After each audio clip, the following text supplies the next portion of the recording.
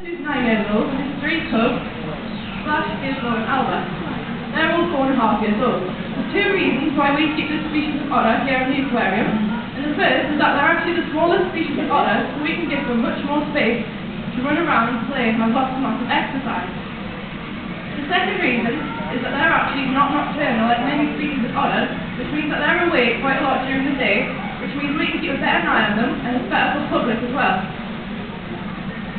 Now, we come in here three times a day feed our otters. In the morning, we'll give them mice and rats for breakfast, and this is their dinner time, they're having some more mice and rats.